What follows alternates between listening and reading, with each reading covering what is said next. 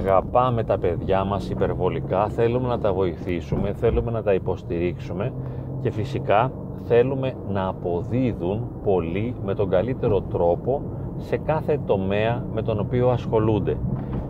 Βέβαια, θα πρέπει να προσέξουμε ποια είναι η ιδιοσυγκρασία, τα ξεχωριστά ιδιοσυγκρασιακά χαρακτηριστικά του παιδιού. Ποια είναι η προσωπικότητά του, ποιος είναι ο χαρακτήρας του.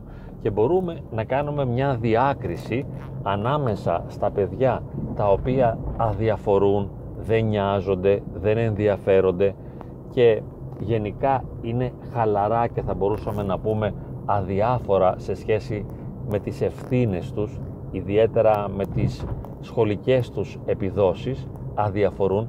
Και υπάρχουν και άλλα παιδιά τα οποία είναι, ε, έτσι έχουν ένα αυστηρό υπερεγώ, προσπαθούν πάρα πολύ, είναι τελειομανείς και θέλουν να τα καταφέρνουν πάρα πολύ σε όλα. Εάν το παιδί κουράζεται υπερβολικά για να έχει υψηλή επίδοση, διατρέχει ένα κίνδυνο. Ποιος είναι ο κίνδυνος αυτός; Εάν προσπαθεί πολύ για να τα καταφέρει και παίρνει την επιβράβευση των γονιών του για την προσπάθεια αυτή και των καθηγητών, μαθαίνει να είναι άριστος, μαθαίνει να είναι τέλειος. Έτσι ταυτίζει την προσωπικότητά του με την υψηλή επίδοση. Ταυτίζει την αξία του με την επίδοση, με την τελειότητα. Εάν έχει χαμηλή επίδοση αργότερα στα μαθήματα ή σε οποιονδήποτε άλλο τομέα, νιώθει άσχημα. Νιώθει ότι δεν αξίζει. Πέφτει η αυτοπεποίθηση και η αυτοεκτίμησή του. Οι γονείς και οι δάσκαλοι υπερτιμούν συνεχώς το παιδί το οποίο τα καταφέρνει. Μπράβο, είσαι καταπληκτικός, συγχαρητήρια, ξέρεις τι κατάφερε ο Γιώργος, ε, πήρε 20 σε αυτό το μάθημα. Λέμε στους συγγενείς, στους παππούδες, καμαρώνουμε. Όλα αυτά είναι φυσικά και ανθρώπινα. Εάν αυτή η άριστη, η ύψιστη επίδοση του παιδιού είναι άκοπη, δεν προέρχεται από έναν σκληρό αγώνα, τότε δεν έχουμε πρόβλημα. Το αναγνωρίζουμε, το καταλαβαίνουμε, το χαιρόμαστε. Το παιδί, χωρίς να προσπαθεί πολύ, χωρίς να κοπιάζει πολύ, έχει υψηλές επιδόσεις. Ίσως γιατί έχει υψηλή ευφυΐα, έχει τη δυνατότητα να συγκεντρώνεται στο διάβασμα, έχει τη δυνατότητα να αφομοιώνει την ύλη, έχει τη δυνατότητα να την απομνημονεύει έχει δυνατότητα να εξωτερικεύει τη σκέψη του με όμορφες λεκτικές διατυπώσεις. Έχει προσόντα τέλος πάντων, οπότε εμείς χαιρόμαστε το παιδί μας να έχει υψηλή επίδοση. Εάν όμως κοπιάζει υπερβολικά, εάν αγχώνεται και επίσης εάν θυσιάζει τις διαπροσωπικές του σχέσεις, τις σχέσεις με τους φίλους του προκειμένου να έχει υψηλή επίδοση, τότε υπάρχει ένα πρόβλημα, υπάρχει ένα θεματάκι. Το παιδί πιέζεται και αυτό σημαίνει ότι εάν σε μία επόμενη φάση της ζωής του, αν είναι ας πούμε στο γυμνάσιο, μπορεί να υπάρξει το πρόβλημα στο Λύκειο, μπορεί το πρόβλημα να προκύψει στο Πανεπιστήμιο ή στα μεταπτυχιακά ή στο γάμο του.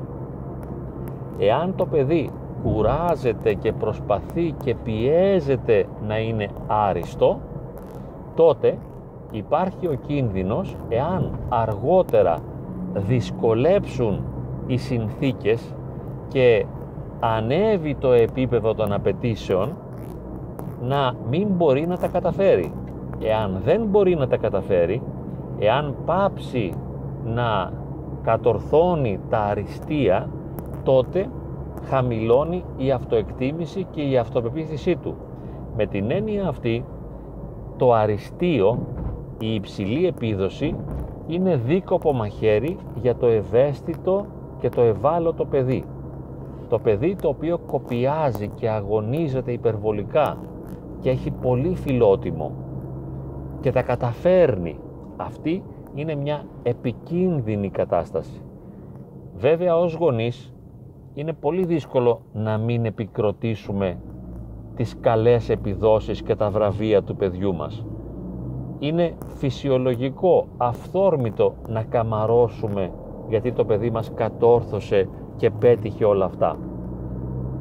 Εάν όμως γνωρίζουμε κάποια πράγματα από την ψυχολογία και τις ψυχολογικές διαταραχές θα είμαστε λίγο καχύποπτοι και θα βάλουμε ένα ερωτηματικό πάνω από το βραβείο.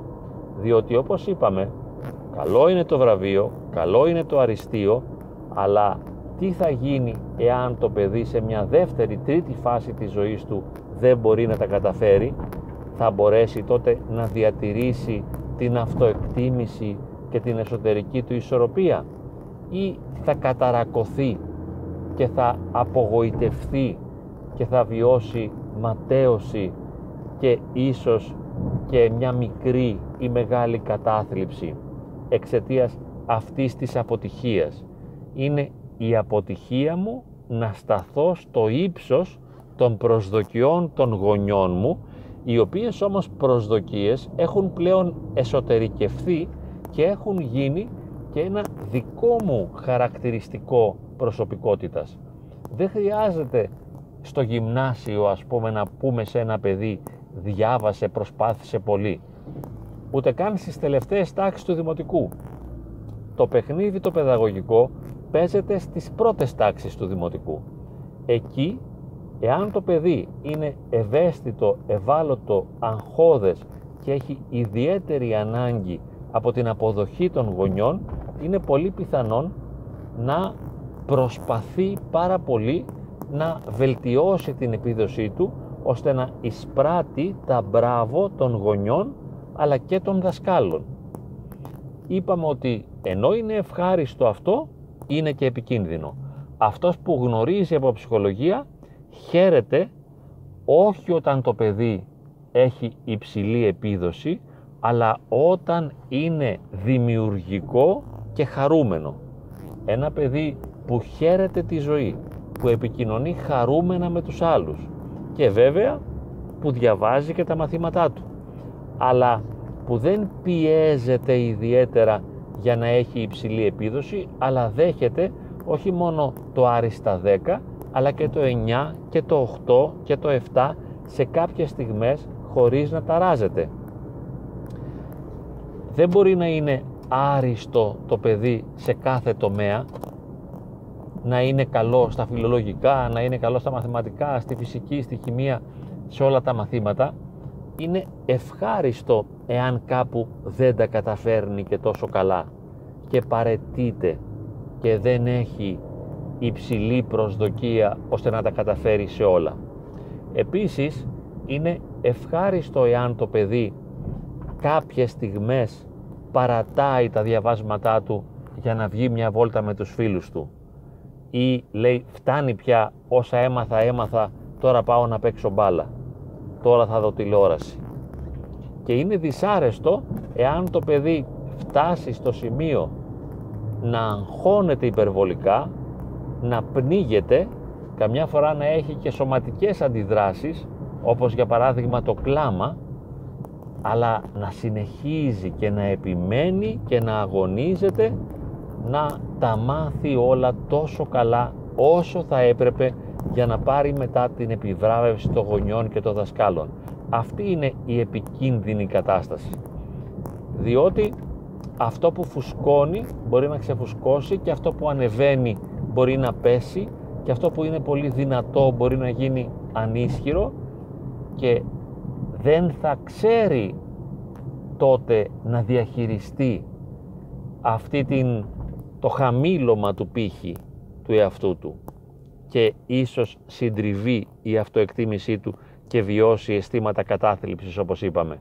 Διότι δεν ξέρει να το διαχειριστεί εμείς θέλουμε ένα παιδί που γνωρίζει να αποτυγχάνει που ξέρει να αδιαφορεί που δεν νοιάζεται υπερβολικά για τα μαθήματα του σχολείου αυτό είναι καλό φτάνει δεν θέλω άλλο Α πούμε, ιστορία δεν θέλω να διαβάσω. Δεν μ' αρέσει, τη συγχαίνομαι.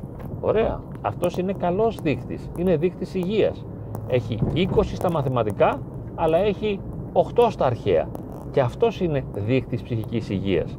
Προσέξτε, δεν λέω ότι είναι δείκτης καλής επίδοσης σχολικής. Είναι δείκτης ψυχικής υγείας διότι υποδηλώνει ότι αυτό το παιδί έχει την ελευθερία να διαβάζει περισσότερο ή λιγότερο ανάλογα με το κέφι του και να προσαρμόζει την επίδοσή του στις διαθέσεις του. Δεν γίνεται θύμα των απαιτήσεων των γονιών και των δασκάλων, αλλά έχει ένα ισχυροποιημένο εγώ που μπορεί να ανθίσταται, να λέει όχι, φτάνει, δεν μπορώ, δεν ξέρω, δεν θέλω, δεν διάβασα, δεν τα κατάφερα ή το καλύτερο ακόμη απέτυχα. Ναι, σε αυτό το μάθημα τα έκανα θάλασσα ή αυτό το μάθημα δεν μου αρέσει. Σε αυτό το τομέα δεν είμαι καλός. Χωρίς να διαλύεται το παιδί. Στα αθλήματα τίποτα δεν καταφέρνω. Κανένα πρόβλημα, το αποδέχομαι. Όχι να κάτσω να σκάσω επειδή δεν τα καταφέρνω στα μαθήματα. Ή στα μαθηματικά τίποτα. Στα αθλήματα ναι, μ' αρέσει. Ωραία, τα καταφέρνω. Είμαι άριστος. Αλλά όχι στα μαθηματικά. Τέλεια. Μας αρέσει αυτό. Δεν θέλουμε παιδιά που πνίγονται, που ασφικτιούν, που καταπιέζονται για να πείσουν τον εαυτό τους και τους άλλους, τους γύρω τους, τους γονείς και τους δασκάλους ότι αξίζουν. Ο στόχος είναι να απαλλαγεί το παιδί από αυτή την πρόθεση να αποδείξει την αξία του, ώστε να είναι ελεύθερο παιδί, χαλαρό, άνετο, ευχαριστημένο, χαρούμενο, ανεξάρτητο, αυτόνομο, να μην αντλεί την αξία της ύπαρξής του ολοκληρωτικά από την επιβράβευση των γονιών, των δασκάλων και των συγγενών και των φίλων ίσως. Να έχει μία αυτονομία και το σημαντικότερο και να κλείσουμε με αυτό, να ξέρει να αποτυγχάνει, να μπορεί να διαχειρίζεται την αποτυχία